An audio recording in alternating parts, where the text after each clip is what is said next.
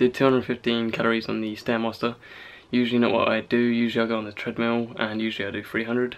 Uh, given my current state, um, that's what I've been doing for the past week or two uh, for cardio and that's been going consistently well but I was short for time today, uh, even too short for time I couldn't really do HIIT or anything like that so I just kept it kind of medium to high intensity, pretty average speed, I didn't really change it that much. I tried a couple of times because I did leg day, uh, speeding up and trying to do HIIT basically.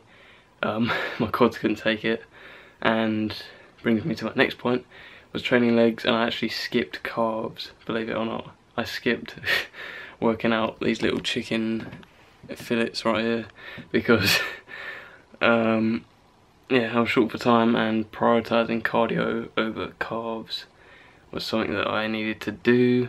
This light is not the best. So yeah, I improvised and prioritised cardio, but whilst doing cardio and whilst doing Stairmaster specifically, this is why I chose to do Stairmaster, um, I actually had my heels hanging off each step so a lot of emphasis was put on my calves as opposed to my quads. Um, I kind of went back and forth from pushing through my heel to pushing through my um, like my calves, the ball of my foot, but that on its own was basically a calf workout. So point is, if you have a similar situation where maybe you go into the gym and you only have like an hour, hour and a half, and there's just not enough time to get in a good workout and cardio, um, you obviously don't want to shorten your weightlifting too much, your resistance training, because obviously keeping muscle, um, training your muscle is just as important as cardio whilst you're in a dieting phase and just in general really. Because if you always did that then you wouldn't really grow or anything like that and you'd probably lose a bit of um, muscle. So yeah point is if you can improvise and change the way you're doing things slightly to make things work then do what you can am I in the shot? Yes. Am I good to go? yes. Okay. Right guys, while I was at work, this got delivered, got a BPI package as you can see. I ordered a a stack, I got a weight loss stack because obviously at the moment I'm cutting, I'm trying to lose weight. Um, haven't actually tried any BPI stacks so I figured I'd give them a go. I think it comes with protein, BCAAs and pre-workout as well but also because of the current deal that they got going on when you spend over I think it was like £75 uh, which is what the stack came to like around that much. Um, you get a free snapback as well, so hopefully in this box is a free snapback. Um, even though I don't really wear snapbacks, but might see how I look with one on. Decide whether or not I want to wear it. Right. Oh my god. They've actually sent me quite a lot of stuff, so got a few different sachets of the whey. Got whey HD here, peanut butter ice cream bar. It's a new flavour, never tried that, so give you guys a review on that after I've tried that. I love this. They always send me a shaker whenever I order something. So I've got like six of these downstairs now. So honestly don't know what to do. but they're handy little shakers. Uh, here's a snapback that I told you about. Pretty nice design, black and white. Big fan of black and white as you can tell. It's like half my wardrobe. Uh, so yeah, I don't know if that suits me or I should put it now. I feel like I'm more of a dad hat guy than a snapback. I feel like this is a bit too cool for me. I'm more of a dad. Does it suit me or do I look like an absolute idiot? Be honest.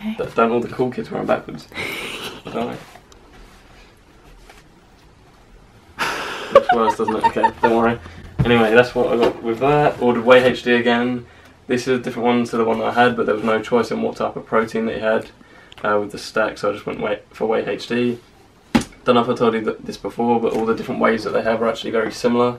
I think it's literally just the amount of carbs and fat that's in there along with the protein. So this one is probably slightly higher than the ISO whey. Uh, sorry, the ISO HD, which I usually get. So I went for the chocolate cookie flavour because I really just want to experiment with all the different flavours that this company offers um, and give you guys my honest opinion. But so far so good with everyone that I've tried, definitely with their BCAAs and pre-workouts. Um, went for the same pre-workout that I had before, blueberry lemon ice, and then was very excited to try this waiting until it was actually in stock again. It's the sour candy BCAAs. So last time I had the, I think it was blueberry lemonade, something like that, and that one's really nice. But this one probably will have a bit more of a sour kick, hence the sour candy title. Um, so yeah, excited to try that tonight in my big bottle, wherever that is. And then they've sorted me out with another BPI t-shirt, which are very cozy. and well fitted and they off the guns perfectly. That's my stack. About to take some pre-workout and go meet Billy at the gym to train back and possibly shoulders, not sure yet. So yeah, see you guys in the gym. Alright, what's going on YouTube? Welcome back to another workout commentary. Now I didn't actually end up training with Billy, but I still managed to get a good uh, back and shoulder workout in. So started off with uh, the cable rows. Usually I'd actually start off my back workouts with a lat pull down, but I figured I'd start with rows today, see how my back felt, see how the pump felt, and it was a nice change of pace. And I found that starting with rows, um, obviously being quite a lower trap dominant um, kind of movement because you're protracting your scapula and then retracting it as you row. So you'll actually notice that when I'm on eccentric, I'm leaning forward. So not only am I protracting my shoulder blades, so opening them up, pushing them forward, um, fighting the weight that whole time so you can stretch the muscle fibers out.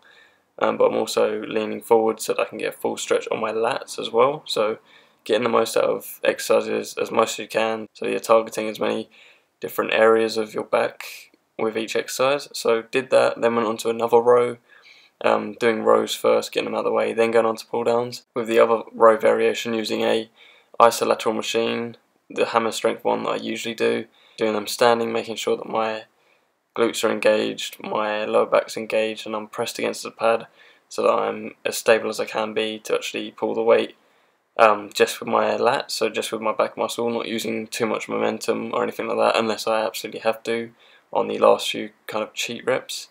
Um, but yeah, those went quite well. Then went on to the pull downs, so very lat dominant, not so much as the lower trap involved in this because of the way that you're moving the weight, bringing it from above you uh, down to like your collarbone area. So again, started with a bilateral exercise using both sides at the same time, um, but actually did it on this isolateral machine, so doing both sides individually, but actually moving the weight with both sides at the same time. So if you know what I mean by that. Um, and then went on to isolateral after that, so doing one at a time, trying to keep things as even as we can, doing a mixture of bilateral, isolateral and unilateral movements. Fourth exercise actually went on to another row.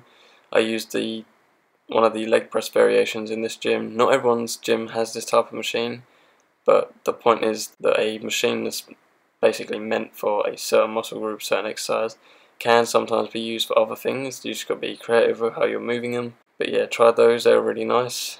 Notice that with the one arm row with the other leg machine, I was actually slightly twisting at the hips to get full stretch on the lats and then pulling back through the elbow, um, allowing my body to naturally go back to that neutral position and squeezing the lat at the very top. Then moved on to shoulders. I started with those standing barbell military presses. These are kind of like doing them in a Smith machine in the sense that you are pushing against a kind of fixed plane, so the barbell is not shaking around as much, meaning it doesn't really use as many stabilizer muscles. But notice I'm actually doing it on just a uh, squat rack using a free bar. So I picked up the weight, made sure that the the like barbell catches where you'd usually pick up the bar from uh, wasn't in the way. So putting it below chest and below shoulder height.